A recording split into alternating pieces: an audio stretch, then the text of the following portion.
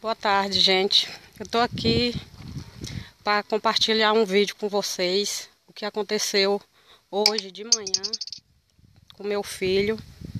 Ele foi sofreu uma é, tentativa de estupro pelo um viado que tá morando aqui na Serra Nova, perto da casa da Lucieda. O nome dele é. Como é o nome do, do, do homem? Do viado? Salvador, é? O nome dele é, é Salvador, conhecido, mais conhecido como Salvador. Ele trouxe meu filho, gente, para dentro do mato. Vou mostrar aqui para vocês. Mostrar o local, é aqui perto da casa da Luceda, por, por a rua por detrás.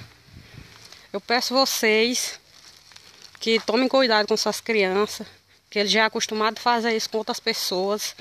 E eu tive coragem de dar minha cara a tapa para poder fazer esse vídeo. Vou mostrar para vocês aqui, ó, o mato onde eu tô. Foi onde esse cara trouxe meu filho para cá para estrupar.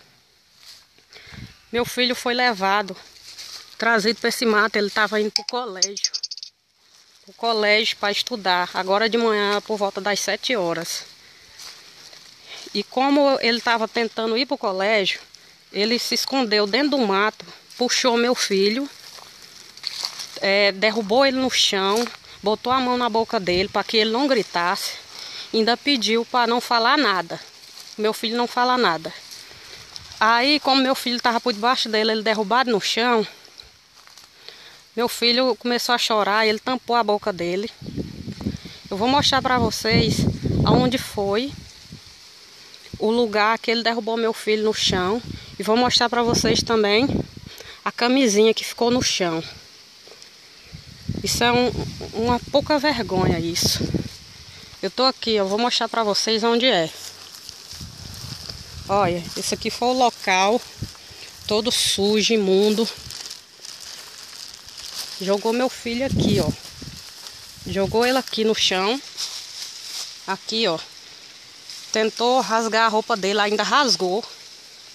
Tem a camisinha aqui no chão. Mostrar aqui a camisinha para vocês.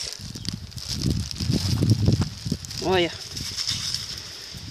Eu peço. Gente, toma cuidado com esse homem. Eu resisti à ocorrência. Aqui, ó. A camisinha que ele tentou estrupar meu filho. Aqui, ó. Meu filho correu pra, ali, ó, pra dentro do mato, ó, tá vendo amassado. Ali foi aonde meu filho tentou correr. E ele puxou meu filho de volta, montando em cima dele, tampando a boca dele. E com outra mão, segurando a, a boca dele. Com a outra mão, segurando a camisinha para tentar abrir. Aí meu filho começou a chorar, dizendo que o chinelo tinha quebrado. Aí por um vacilo dele, meu filho pegou e saiu correndo. Uma mulher, que eu não sei nem dizer quem é, achou meu filho no meio da rua chorando e levou até lá em casa. O que eu pude fazer é, é indignação demais, gente. O que eu pude fazer foi registrar uma ocorrência contra ele, para que ele não tente isso com outras crianças. Por favor, você que está vendo esse vídeo, divulgue para essas crianças que, que estudam na escola Marlene Piauilino tomar cuidado, porque ele mora perto da Torre da TIM, na casa da Lucieda. Ele mora lá. Gente, vocês que têm filho, toma cuidado com ele. Que eu não desejo para vocês o que meu filho está passando, não. Meu filho está chorando até agora. Já fui no conceito telar, fui na delegacia, fui no hospital. Por favor, gente, ajuda a divulgar esse vídeo. Eu não quero que aconteça isso com outra criança, não. Meu filho está meu filho tá traumatizado.